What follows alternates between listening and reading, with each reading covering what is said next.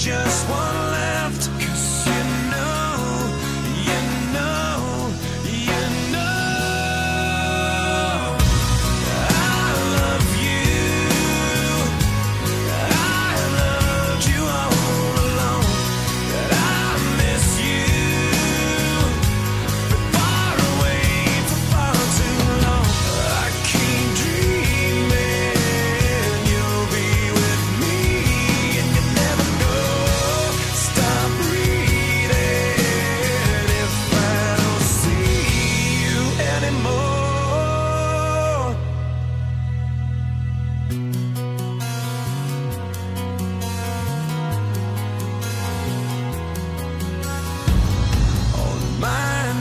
days.